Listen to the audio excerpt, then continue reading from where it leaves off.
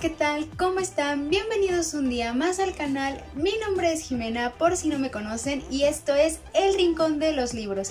El día de hoy les traigo un video más Ahora el tema del video es sobre el bloqueo lector, algunos tips para salir de él y también unos libros que nos pueden ayudar. Así que sin más, vamos por ello.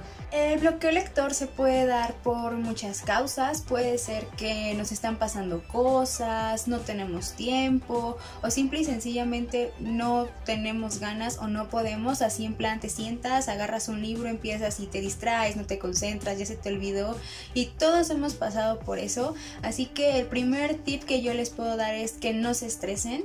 Sé que a veces el ritmo de vida que llevamos puede ser muy agobiante, más ahorita con la cuestión de la cuarentena y pues todavía te va a agobiar más el hecho de querer hacer algo que te gusta y no poder. Así que no hay que estresarnos, hay que recordar que leer es un hobby, entonces hay que tomarlo como eso y pues no hay que estresarnos por no poder, simple y sencillamente dar tiempo a que eso pase y poder retomar nuestras lecturas segundo tip es dedicarnos a otros hobbies que nos gusten si no podemos leer, no hay que forzarnos, simple y sencillamente podemos dedicarnos a hacer otras cosas hasta que nuevamente retomemos esas ganas y ese ánimo para leer. Mi siguiente consejo es cambiar de idioma, ya que si nosotros sabemos otro idioma lo podemos utilizar a nuestro favor, ya que puede ser algo refrescante el hecho de leer en otro idioma y eso nos puede ayudar a retomar nuestras lecturas. Mi siguiente tip es releer uno de tus libros favoritos Muchas veces el hecho de releer uno de nuestros libros favoritos nos puede ayudar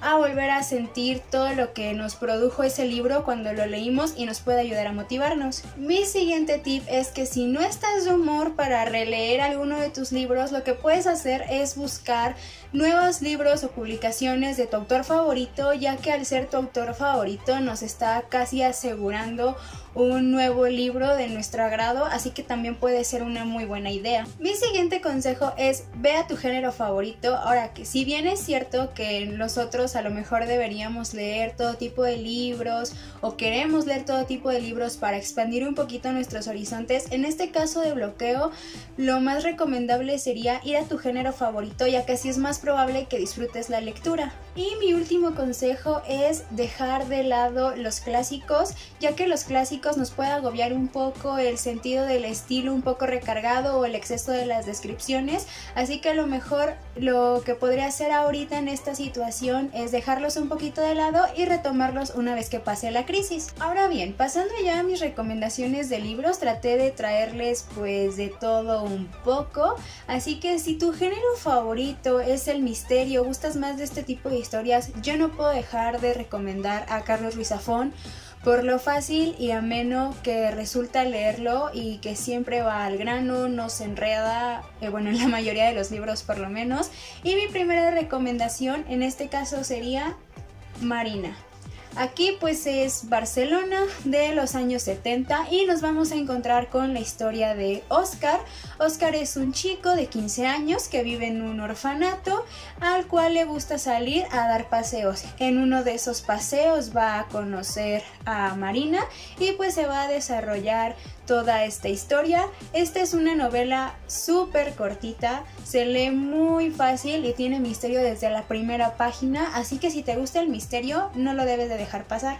Y mi siguiente recomendación de misterio, igual de Ruiz Zafón, es La sombra del viento. Aquí nuevamente va a ser ambientada en Barcelona. Esta es la primera novela para adultos que escribe Ruiz Zafón y se nos va a contar la historia de Daniel Sempere y su familia que esconden un secreto, el cual es el cementerio de los libros olvidados. Esta novela igual es súper atrapante, se lee súper rápido y pues para no enrollarme mucho tienen la reseña en el canal, se las voy a dejar por aquí arriba para que pasen a verla. Mi siguiente recomendación es para el género de thriller, en este caso va a ser Asesinato en el Orient Express de Agatha Christie. Yo siento que todos los libros de Agatha Christie te pueden ayudar para un bloque lector si te gusta el thriller, pero me decanto más por Asesinato en el Orient Express, por lo fácil que se lee, por lo corta que es. Aquí todo va a girar en torno a un misterio y el detective encargado del caso va a ser Hércules Cuarón. Si te gusta el thriller, bueno, pues Agatha Christie es básicamente un pues clásico de este género, así que puede ser una muy buena opción también. Mi siguiente recomendación para el género de fantasía es Harry Potter. Harry Potter, a lo mejor no te sientes de humor para leer una saga, pero lo que nos puede ayudar es que todos conocemos la historia de Harry Potter, o bueno, la mayoría, así que también puede ser de gran apoyo el hecho de conocer esta historia y puede que no te sientas como muy a gusto de leer un libro de muchas páginas, pero cualquiera de pues los primeros tres te puede ayudar ya que pues son demasiado cortos, tanto el 1, el 2 y el 3 son bastante cortos y puede ser una buena opción para empezar a salir de tu bloqueo lector. Mi siguiente recomendación es para si te gustan más los libros que son de relatos o libros cortos. Mi recomendación es El bosque profundo de Sofía Rey. Aquí nos vamos a encontrar con muchos relatos de seres y de lugares fantásticos. El tema es realismo mágico y nos ayuda el hecho de que sean relatos ya que no es necesario que leas todo el libro y lo puedes ir leyendo por partes y así generar un avance. Y si te gusta más el realismo, ya no el realismo mágico, cuentos de John Kever te podrían ayudar mucho. Este autor trata el tema de la falsedad del llamado sueño americano, pero trata de ver el lado optimista dentro de ese desencanto y todo lo hace con un humor muy personal y también te puede ayudar bastante. Y mi recomendación por si te gusta la novela romántica, bueno, aquí nos podemos encontrar con muchos autores, Elizabeth Benavent, Megan Maxwell, Federico Mocchia, Nicholas Sparks, pero aquí mi recomendación sería Toda la verdad de mis mentiras de Elizabeth Elizabeth Benavent. Esta no solamente es una historia de amor, es una historia con muchas intrigas, es una historia de amigos que parten en un road trip y como dije, pues todos ellos tienen muchos secretos que van a salir en este viaje y también es muy enganchante de principio a fin. Así que bien chicos, esto es todo por el video de hoy. Si alguno de ustedes está pasando por esta situación de un bloqueo lector, no se preocupen, va a pasar, es parte de esto, aparte con la situación es muy comprensible, pero como les dije al principio del video, todo está en no estresarse y en tomarlo con calma. Si alguno de ustedes conoce algún otro tip para superar el bloqueo lector o algún otro libro que a ustedes les haya ayudado a salir de él, los invito a que me lo dejen saber en la cajita de los comentarios para que entre todos nos podemos ayudar si presentamos esta situación.